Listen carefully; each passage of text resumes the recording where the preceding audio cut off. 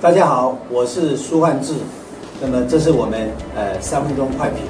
那么最近有人提案，那么要立法禁止悬挂五星旗。最近又发现这个民进党呃似乎那么对于这个提案呢有参与协助联署，那么也让呃包括国民党的一些失言候选人都主张说，哎，如果这个提案通过，他就准备被管了。那显然就借着这个议题要来做造势哈。在华务部今年年初曾经表示说，呃，立法禁止呃悬挂五星旗是违反言论自由。那么事实上，我们来看，呃，相对的一些国家，像呃南韩，那么他们也是的确是明文呃禁止，那么悬挂北韩的国旗。我认为，呃，在言论自由跟国安之间。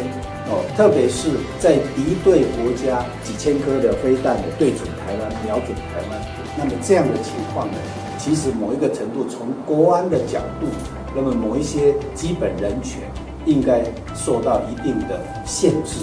那么甚至于说，台湾的国旗在中华人民共和国是不能这个陈列的，是不能悬挂的，是不能拿的。哦，可是，在台湾呢，呃，反而。它是大大方方的，那么五星旗绕着立法院、绕着总统府这样子绕。从这样的角度来看呢，那么违反对等之免，事实上我们可以立法来做限制，这应该也不是问题。所以我个人认为，从法理上，无论从宪法的言论自由，或者是说对等之免的角度，那么立法予以限制，并非不可能。但是问题是，该不该这么做？大家想一想。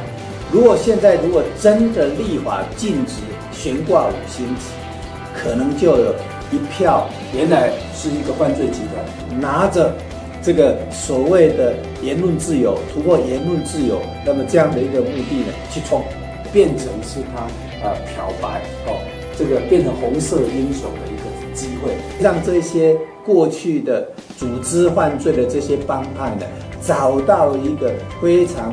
有效的升官发财的一个机会。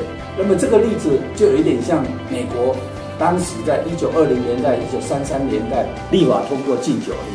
那禁酒令之后呢，一般人不能买卖酒，但是黑手党呢，这因为这个原因呢，大幅扩张，在很多城市大幅的发展黑帮的势力。所以我们认为，这个从整个政府的这个。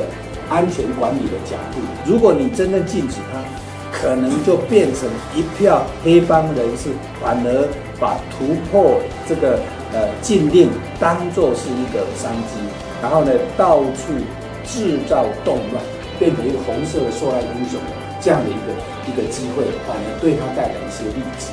所以我们认为还是不要立法禁止这样的啊，对整个台湾是比较好的。我想以台湾的民主自由一定经得起，那么拿五星旗对台湾其实是构成威胁的。以上是今天的三分钟快评，我是苏汉志，谢谢大家。